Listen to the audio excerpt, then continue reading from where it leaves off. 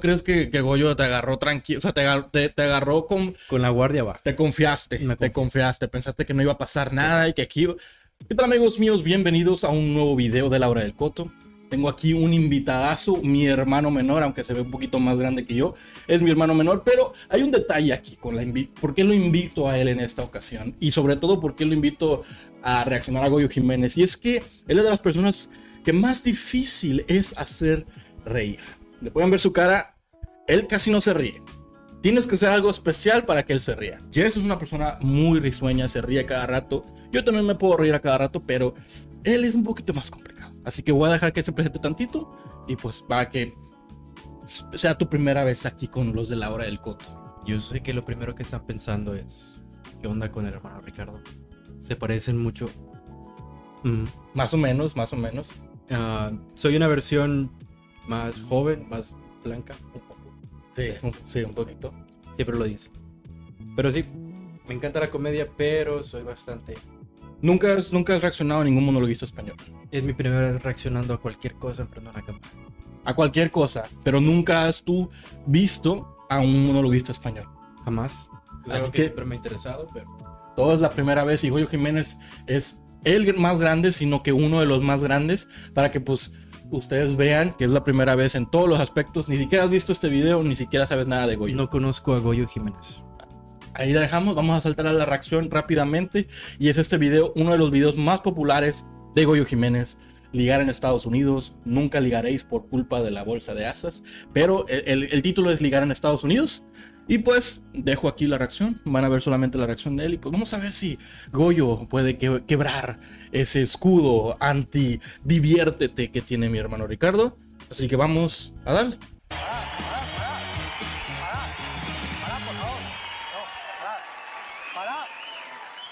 Silencio, por favor. Pero ¿por qué aplaudís así sin saber lo que voy a decir? No, no, en serio, ¿eh? Imagínate que salgo y digo, quiero el exterminio de todos los conejitos blancos. Pues eso se queda aplaudido. Y el día de mañana hay un holocausto de conejos blancos y, vais todos a la cárcel de los conejos. Perdón, ya sé que es una gilipollez, pero vengo rebotado. Me estaba fumando y bueno, he ido a fumar en el bar y me dice, no, que tiene que salir fuera, que a la gente le molesta el humo, hay una ley. Y digo, ¿y a mí los humos de otros? Porque hay gente que no fuma, que- pero hacen humos que me molestan. Me refiero al típico guaperas con pinta tronista, ¿sabes? Rollo... Rollo he visto croissant con menos apertura de aletas, ¿no?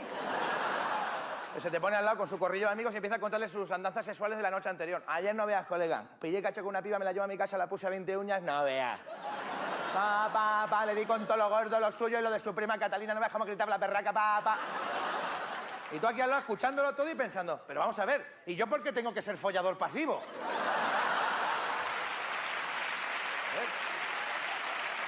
Ahorita estamos viendo que aún Aún no ha me logrado había el para hablar sobre el principio de incertidumbre de Heiselberg, pero ya que me sacáis el tema de follar...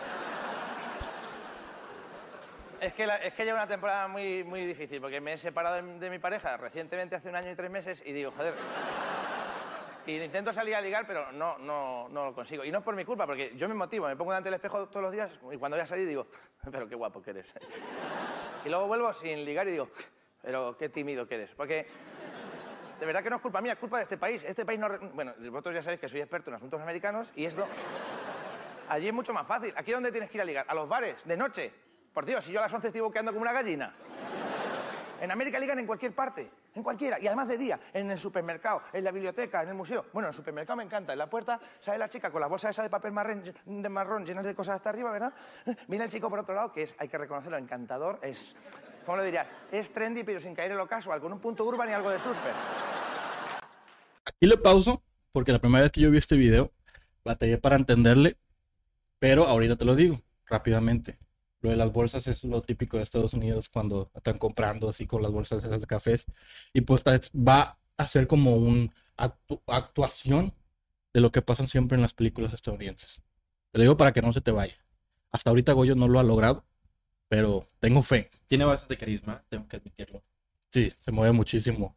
Lleva un flequillo ahí, rollo. Bueno. Pues el tío que va distraído no la ve venir con su bolsa, se choca con ella. ¡Oh, disculpe, señorita! ¡Qué torpe soy! Em, permita que le ayude a recoger este desastre. Se ponen ahí a, a recoger las naranjas y cuando coinciden con la, con la misma naranja, se levantan, se miran a los ojos, saltan chispas. Justo en ese momento, el vecino de arriba del supermercado, que es saxofonista, se pone a ensayar una canción de Kenny G. Vaya, mi viejo solía tocar esa canción en nuestra vieja granja de Wisconsin. Yo sabía, yo sabía que en esa parte sí lo iba a lograr. Yo sabía. Ahí va, ahí va, ahí va, ahí va, ahí va, ahí va Goyo. Ahí va Goyo. Yo sabía que en esa parte lo iba a lograr. Tu imitación de los doblajes y de la forma en la que hablan en las Es películas. que tienen que entender que aquí en México tenemos de los peorcitos doblajes. Y estamos acostumbrados a escuchar todos esos doblajes bien feos de Exactamente. Discovery, de las películas antiguas. Sobre todo las románticas. Exacto, es- esas películas que miras 10, 5 veces sin querer y las miras y el doblaje todo feo, pero Vaya, bueno. mi viejo solía tocar esa canción en nuestra vieja granja de Wisconsin. ¿En serio? Esa canción fue la que me trajo a Nueva York para ser actriz. Pim, pam, ¿ya están enamorados? Eso, eso jamás os va a pasar a vosotros. ¿Por qué? Por culpa de la puta bolsa de asas.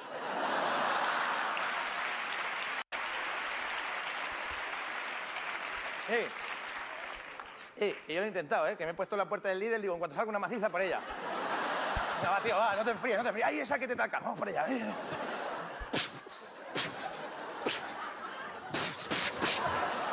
¿Qué haces? ¿Eh? Que te quiero. Ahí está, ahí está. Eh. Toca ya, Dimitri, toca ya. ni, ni, ni, ni, ni, ni, ni. Signorina, yo vengo de la Romanía. Es que yo soy un artista y en mi país ahora no, Dimitri, ahora no. Claro. Ah, es. Y casi, eh, casi que mejor, porque ligas con una tía por la mañana y ¿dónde la llevas en España? Porque en América, por suerte, se la pueden llevar a un parque esto de Long Island, un parque de atracciones que ya entra y está abierto solo para enamorados los jueves por la mañana. Y ya suena la musiquilla esa del tío vivo.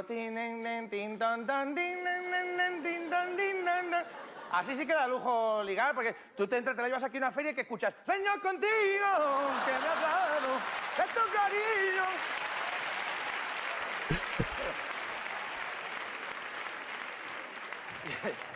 Y encima, lo más divertido, que ahí se van a un pim pam pum de estos, una tómbola, ¿eh? y coge, se ponen ahí a, ju- a jugar al pim pam pum, un oso, y llega el, tombolero del pim pam pum y dice, premio para la señorita. Un pedazo de oso, tamaño oso. Aquí te vas a una feria lo que sea y te, dejas el sueldo para sacarte una mierda, perro piloto. De esos que acaban luego la cama de reportaje callejero. Mire usted cómo estamos aquí viviendo. Que no nos caben ya ni los peluches.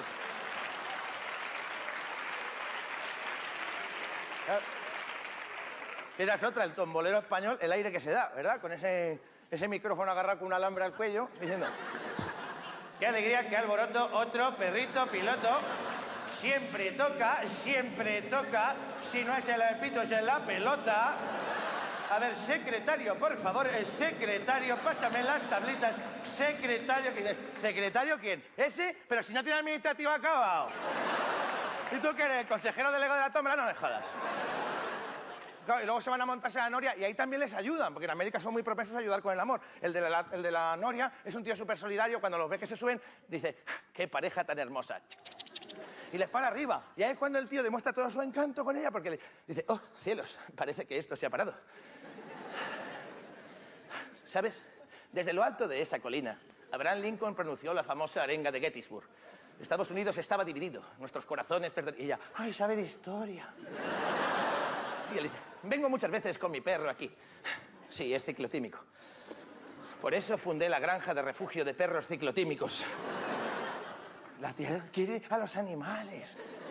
Y acaba rematando diciendo, y cuando me siento solo, subo hasta aquí y miro las luces de las ciudades como mi rincón secreto.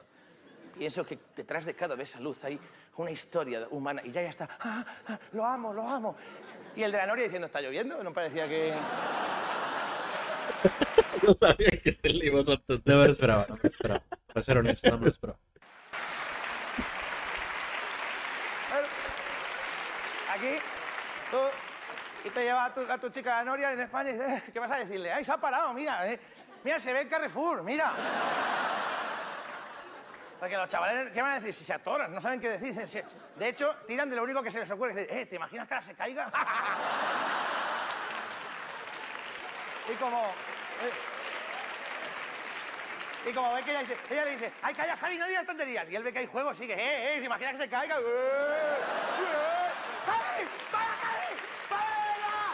¡Que me queda mucho bien, Javi, para! ¡Eh, tía, vamos a aplastar y a morir! Aquí son muy a hacer las cosas por el terror. Mira, yo si hay que hacer las cosas así, paso de ligar. Yo lo que necesito, además, si yo lo que quería es una pareja, es- me gustaría aprovechar esto para decirle a, mi pareja que vuelva, porque yo intenté, intenté ir a por ella, pero es que esto es España. Otra cosa que tampoco... En América, ¿tú sabes dónde ir a buscar a tu novia cuando te deja? Al aeropuerto, porque siempre...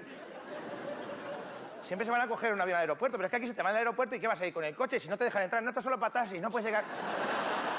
En América llegas con el coche a la puerta del aeropuerto, lo dejas y, y la gente te ayuda, porque son muy solidarios, todos, todos. Se baja del coche el chico y dice, viene un policía y dice, eh, oiga, amigo, no puede dejar el coche aquí, voy a perder a la mujer de mi vida. ¿Qué demonios? ¡Corra por ella! Suerte, hijo. Suerte. Apártense, por favor, apártense. Todos tenemos prisa, amigo. La mujer de mi vida se marcha en ese vuelo. ¿Qué? Han oído rápido, ayudemos al muchacho. Vamos, sube al coche eléctrico. Pero ¿sabes manejarlo? Por supuesto, piloteo un maldito avión en la guerra de Corea.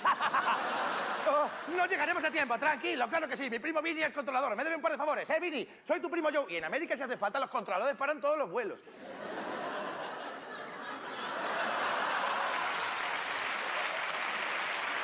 Bueno, caso.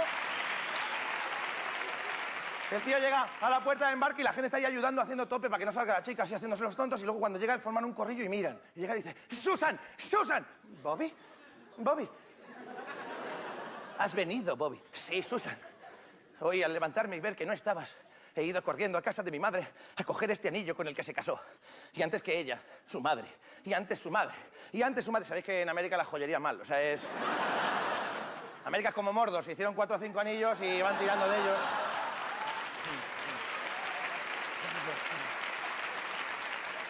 Y llega el tío, hinca la rodilla en el suelo y dice, Susan, cásate conmigo. Y la gente ayuda, ayuda diciendo con una sencilla vocal así en redondo que dicen... Efectivamente, claro, para que Susan diga, ay, qué presión, qué presión, me voy a casar.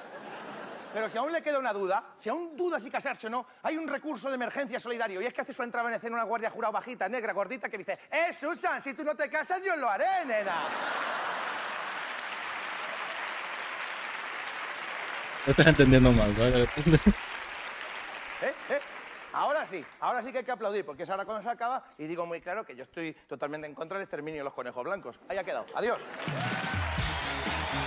Y esta fue la primera vez que viste a Goyo Jiménez. Lo logró, te rompió varias veces, pero ahora necesito saber eh, qué es tu pensamiento, porque es humor español, algo que no estás acostumbrado porque nunca lo habías visto, y también qué sentiste que pues alguien que nunca habías visto y un humor, pues incluso igual pudiera romper ese eh, eh, em, escudo que tienes, porque pues tú no te ríes con cualquier cosa, o sea, ¿qué, o sea, ¿qué piensas? Goyo Jiménez, mis respetos, muy, muy bueno. Me agarró en muchas ocasiones. No sé qué onda con su humor, pero fue como que muy, muy inteligente. Creo que fue, fue lo que me agarró. Y, y su- supo llegar en esas instancias en las que la comedia y relacionarse con lo que es la cultura pop y todo eso, lo de las películas antiguas. Yo creo que ahí fue donde me agarró. El humor espontáneo es lo que a mí más me encanta.